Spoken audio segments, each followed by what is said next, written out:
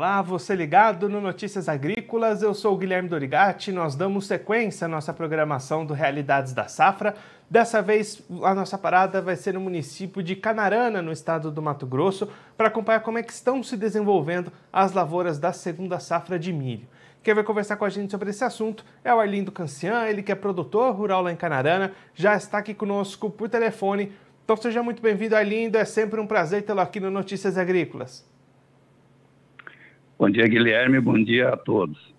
Arlindo, da última vez que a gente conversou aqui no Notícias Agrícolas, foi lá no mês passado, o senhor destacava né, um bom plantio dessas lavouras de milho, um início positivo de desenvolvimento, mas tinha um receio com relação às chuvas para o restante do ciclo. Como é que foi o desenvolvimento Como é até aqui? Essa questão de chuvas continua preocupando? Está indo tudo bem? Como é que estão essas lavouras até aqui? É exatamente Exatamente isso aí, Guilherme. É, nós temos aqui no município mais ou menos 50% da, do milho que tá bom. É milho que dá para dizer assim que, que já escapou, né? E uns 30% ainda vai faltar mais uma chuva ou outra, né?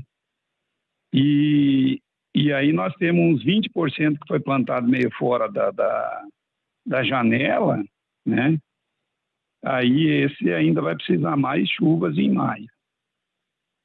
E aí, Erlindo, olhando para a questão de pragas, de doenças, como é que tem sido esse ciclo? Tem tido pressão nessas situações ou está mais tranquilo esse ano? Guilherme, esse ano, pelo que, pelo que eu estou sabendo aí, e no meu mesmo, uh, tá, o controle, o pessoal está fazendo controle é, com fungicidas e tal, né? Mas não tem, tem dado muito problema, não. O pessoal já acostumou usar na, na, nos milhos fungicida, né? Então, os tratos, tudo. E se a gente olhar para o calendário, Arlindo, quando é que deve começar a colheita desses 50% aí que já estão mais adiantados? Olha, Guilherme, eu acho que agora em julho, né? Em julho deve começar. É, vamos. Agora, esse final de semana aqui deu uma chuva boa em Canarana, né? É, assim, voltando às quantidades, eu mesmo tenho, tenho milho já escape, tenho milho que está nessa fase de se desse mais uma chuva seria bom e milho que precisaria mais, né? Então, está mais ou menos assim. Se a gente for pensar numa média normal aí para a região, ali do quanto que seria mais ou menos uma produtividade considerada positiva para o milho por aí? Olha, Guilherme, eu tive falando com as assistências técnicas e não tem ainda uma, um número X ainda, Guilherme, porque assim está dando muita chuva uh, localizada. A chuva geral eh, foram poucas, então não dá para ter uma base ainda. E se a gente for olhar para o mercado, Arlindo, como é que estão as condições para o produtor entrar nessas negociações, fechar vendas? Essas negociações avançaram, os preços estão bons? O que a gente pode falar da comercialização do milho até esse momento? Olha, em percentual eu não sei o que, tem vendido, mas uh, hoje o preço do milho ele está para fazer contrato em torno de 70 reais, né? Esse patamar de 70 reais, Lindo, garante uma rentabilidade nessa safra? Guilherme, nessa atual safra até garante, né? Mas o problema é os custos para compra futura, né? Esse que é o problema. E quem comprou ureia, por exemplo, é, mais tarde para aplicar, digamos, que comprou final de ano, início de janeiro, já pagou mais caro. Né? Então está muito, muito em altas e baixas que, que não dá nem para te falar uma coisa mais exata, sabe? E aí, justamente nessa questão dos custos da próxima temporada, Arlindo, como é que está essa preparação, esse planejamento do produtor aí para a próxima safra a 22-23, essa busca por insumos, disponibilidade, como é que o produtor tem se organizado nesse momento, já pensando na sequência das atividades?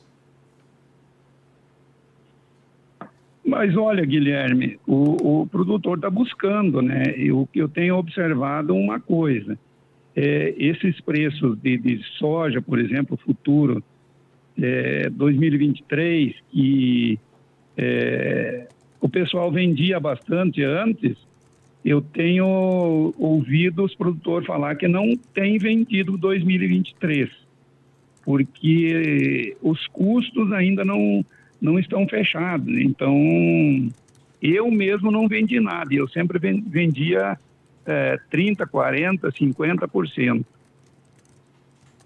Senhor Lindo, muito obrigado pela sua participação, por ajudar a gente a entender um pouquinho melhor a realidade das lavouras nesse momento aí em Canarana. Se o senhor quiser deixar mais algum recado ou destacar mais algum ponto para quem está acompanhando a gente, pode ficar à vontade. Vamos esperar que venham as chuvas necessárias para esses restantes de milho aí e um bom dia a todos. Senhor Lindo, mais uma vez, muito, obri muito obrigado pela sua participação. A gente deixa aqui o convite para o senhor voltar mais vezes, a gente acompanhar os resultados finais com a colheita do milho aí no município. Um abraço, até a próxima. Tudo bem, dispõe. Esse o Arlindo Cancian, ele que é produtor rural lá no município de Canarana, no estado do Mato Grosso, conversou com a gente para mostrar como é que estão se desenvolvendo as lavouras de milho dessa segunda safra lá no município. O Arlindo destacando que o plantio foi bem realizado, as chuvas estavam positivas, pelo menos até esse momento, e aí tem três realidades diferentes nas lavouras lá do município, de acordo com a época de plantio.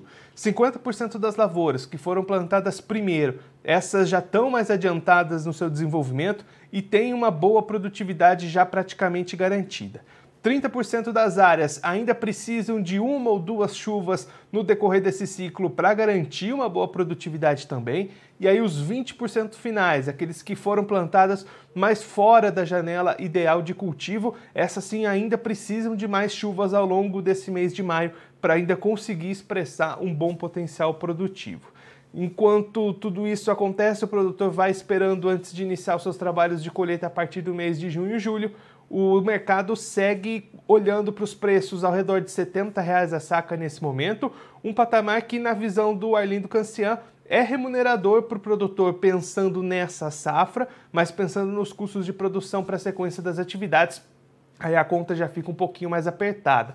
Inclusive para aquele produtor que comprou seus insumos dessa safrinha um pouco mais tarde, por exemplo, a ureia deixando para comprar um pouquinho mais tarde, aí a conta da rentabilidade também vai ficar um pouquinho mais apertada, mesmo pensando na atual safra. O Arlindo destacando que muitas compras de insumos acontecendo antecipadamente para a próxima safra, e aí o produtor receoso de entrar no mercado. Ele citando o próprio exemplo dele, que costuma vender entre 30% e 50% da safra de soja antecipadamente.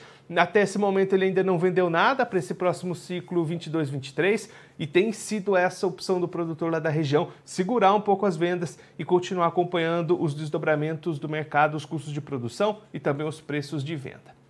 Bom, eu vou ficando por aqui, mas a nossa programação continua.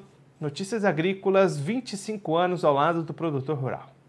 Participe das nossas mídias sociais no Facebook Notícias Agrícolas, no Instagram arroba Notícias Agrícolas e em nosso Twitter arroba Noteagri. E para assistir todos os vídeos, se inscreva no YouTube, na Twitch, no Notícias Agrícolas Oficial.